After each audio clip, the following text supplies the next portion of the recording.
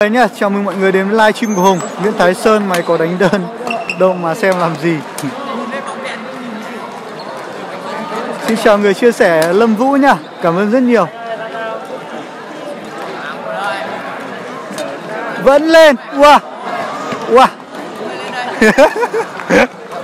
Mẹ Thiết chạy nhanh thật. Hello mọi người, wow, 40 người vừa bật livestream có 40 người xem rồi. Chúng ta tiếp tục đến trận đấu đơn nam nhá.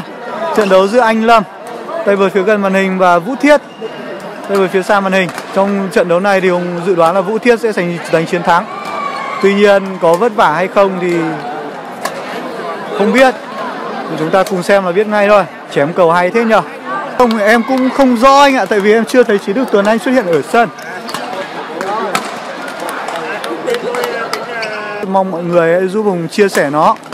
Chúng ta được xem hãy chia sẻ cho người khác được xem cùng.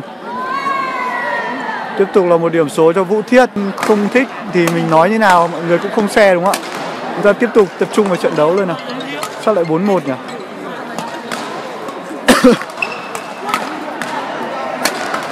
Rất tốt.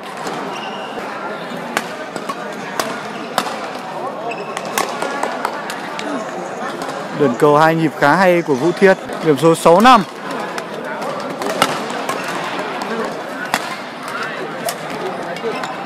Chém cầu rất hay ạ. Không nhìn thấy mọi người.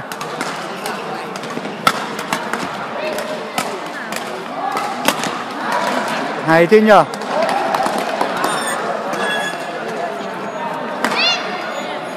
Điểm số 96 cho anh Lâm. Điểm 96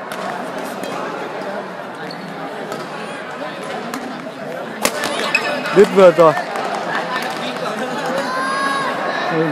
Biết đối thủ đứt vợt, Vũ Thiết, kiểu gì cũng nhây.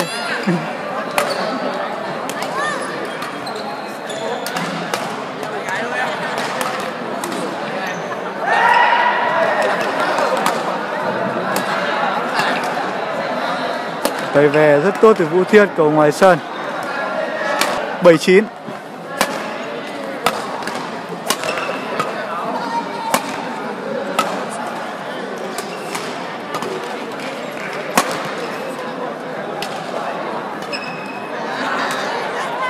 Rất bình tĩnh. Quả sủi lưới rất hay từ Vũ Thiết. Với nội dung đơn nam thì chúng ta lên sủi lưới cao một chút, Bổng lên để cho cầu nó rơi sát lưới. Còn với đôi nếu mà sủi như thế thì vỡ mồm.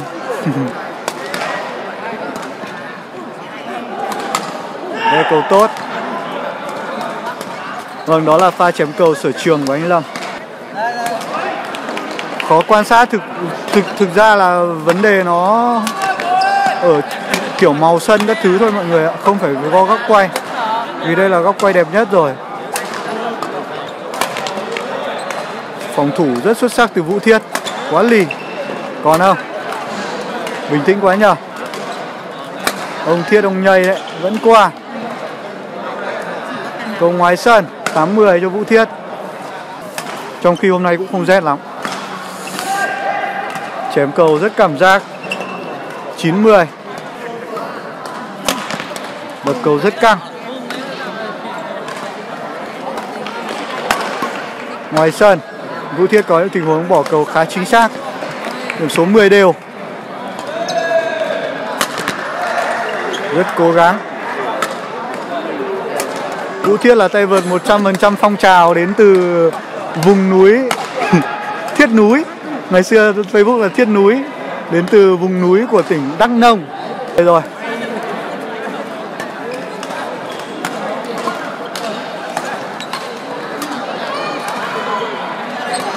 Liên tục là những pha cầu hững của Vũ Thiết. Cầu ngoài sân 11 đều. Đôi nam chắc tí nữa đánh thôi em ơi. Nói chung cái trận là hai anh quay yên tâm nhá.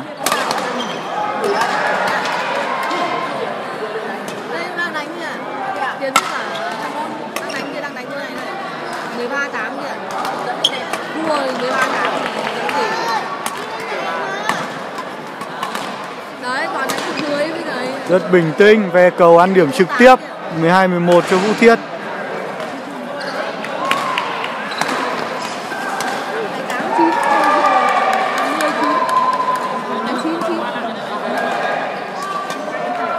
Vũ Thiết dạo này học đâu ra quả bỏ lưới hai nhịp không biết. Ngày trước không thấy có. Cao rồi.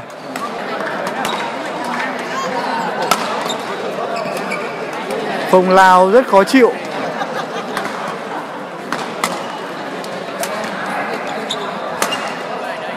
Rất chắc chắn. Trận thi đấu tiếp theo trên sân số 3 Đôi vợ chồng 4150 Mời hai đôi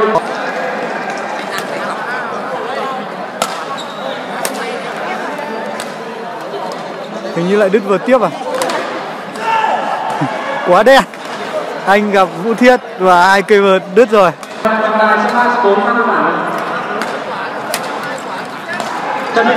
Cầu thiếu lực 15-14 cho anh Lâm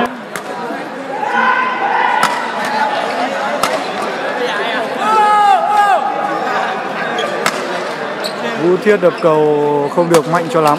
Chúng tôi xin nhắc lại Sân 4 đôi vào chồng Ngoài sân.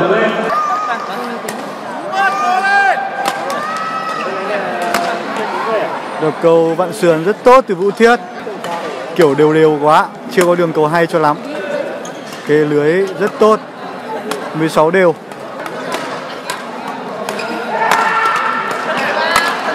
bảy sáu. Thể lực và đánh rất lì cầu rất bền cầu đánh đúng kiểu tiếng minh. Ngoài sân. Vũ Minh Giang, Nguyễn Thị Thơm, Từ Sơn, Dương Văn Vinh, Vũ Thị Xuân. Mời hai đôi khẩn trương vào sân số 4 điều. Hất cầu rất chính xác. Ăn rồi.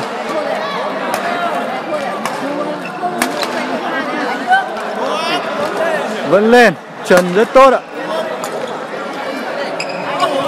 Vẫn lên kìa. Rồi một pha cầu rất xuất sắc của anh Lâm. Gia Thủy, Phạm Sĩ Đường, Phan Thị Mai mời hai đôi vào sân số 5 điều.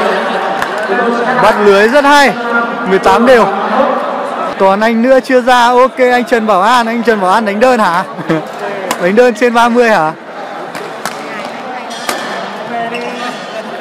Cầu ngoài sân Cổ vũ nhiều hơn cho Vũ Thiết.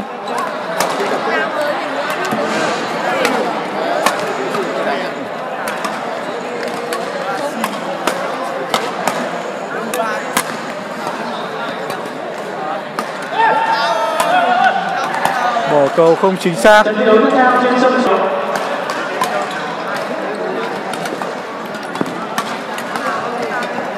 Vẫn với được.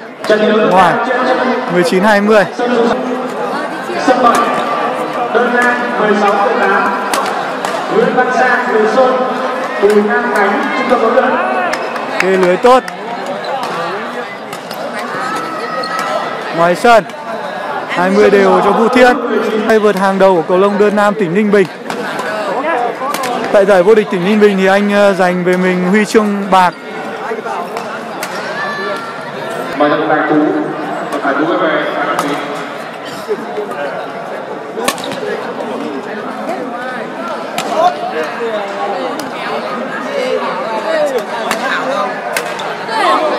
tự sát rồi.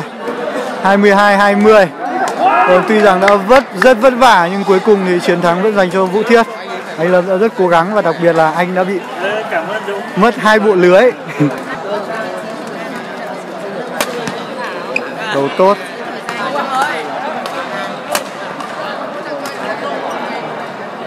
Không qua lưới, điểm số đầu tiên cho Vũ Thiết trong set đấu thứ hai.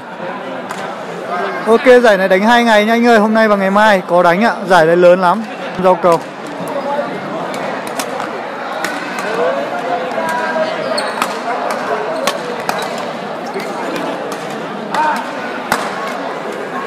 Đập cầu thẳng người. Rất hay. Liệu rằng anh Lâm có thể giành chiến thắng trong set đấu thứ hai này Để đến với set đấu thứ ba? Set đấu căng nhất của trận đấu này không? Nhưng nghĩ rằng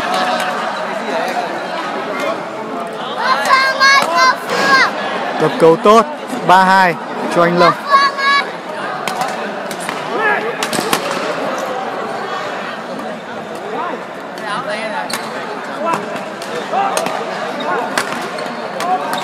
Vâng, những pha bấm cầu của Vũ Thiết rất chất lượng. Người nhá chào mừng mọi người đến với livestream của hùng. Nguyễn thái sơn mày có đánh đơn đâu mà xem làm gì. Xin chào người chia sẻ lâm vũ nhá cảm ơn rất nhiều. Vẫn lên. Wow wow mẹ thiết chạy nhanh thật. 4 năm.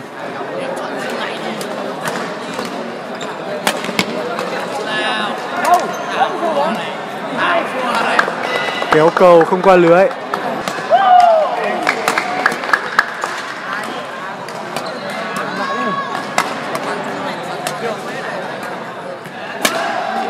Đập cầu khá bất ngờ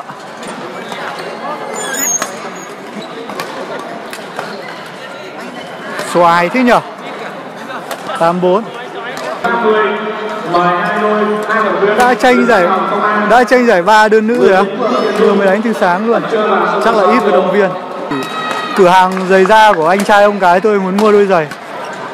Mua đôi giày để sang tuần đi làm.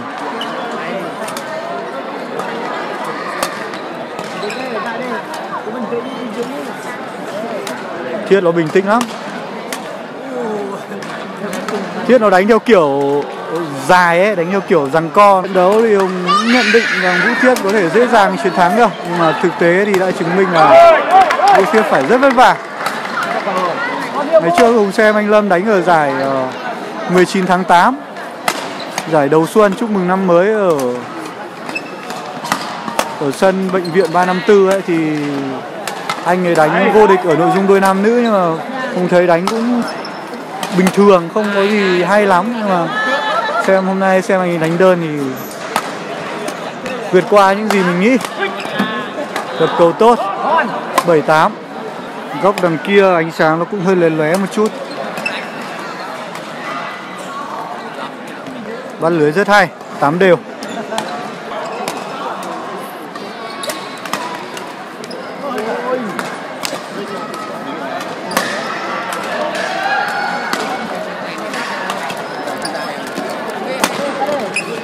Đập cầu chéo sân tốt 98 Vũ Thiết, Cuối cùng thì cũng dắt cắt được dây lên điểm của đối thủ.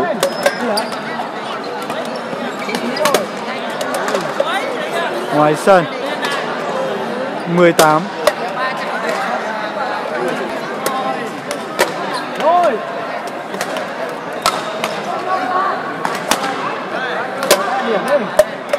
được cầu ngoài sân. Livestream cho tất cả mọi người cùng xem. Xoa cầu rất mượt. Ngoài sân.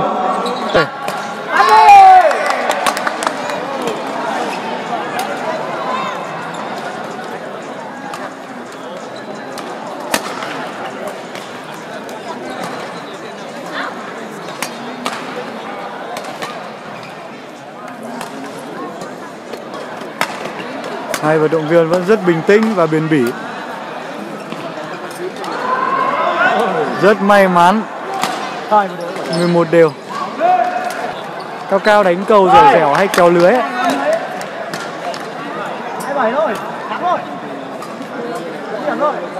Cây cầu rất sát và vẫn phông lên được. Khá hay. Mấy quả vạn sườn à, mấy quả vạn sườn vũ thiết nhìn bất ngờ thật. Không qua rồi. Bibo trận này chưa hay lên nó giật đấy anh ạ tí nữa trận hay thì anh yên tâm là nó không giật đâu Trận đấu tất cả trên sân số 5. Trận 12 đều.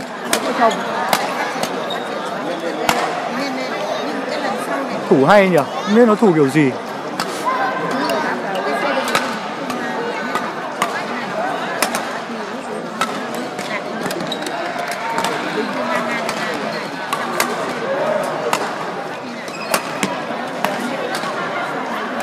Chém hay thế nhở Đó là sở trường của tay vợt Anh Lập.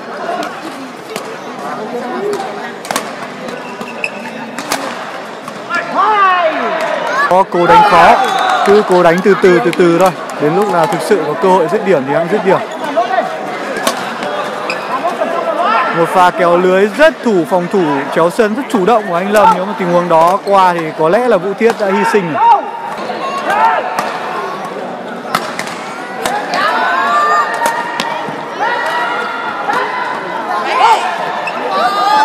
Không qua lưới.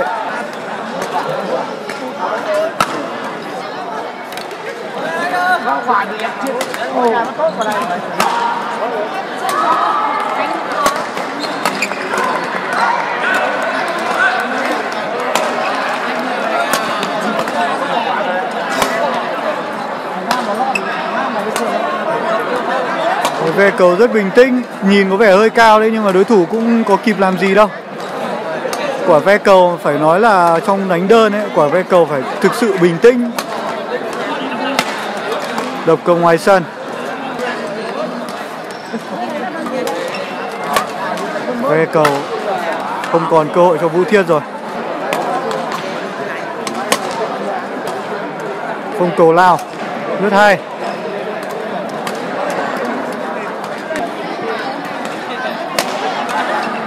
Ăn điểm.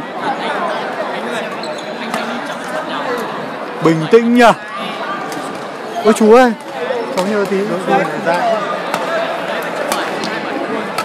Đứng chắn màn hình.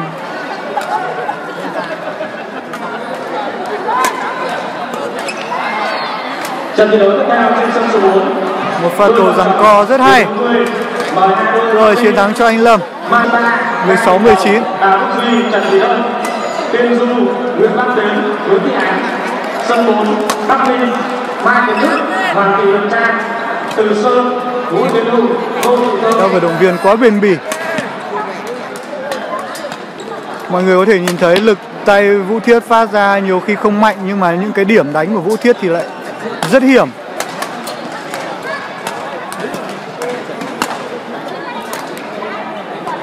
Hay quá nhỉ.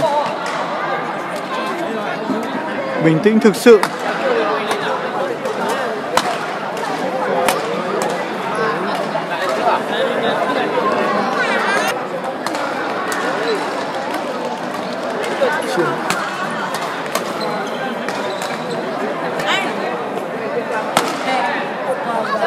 Ok, trận đấu kết thúc 21-16.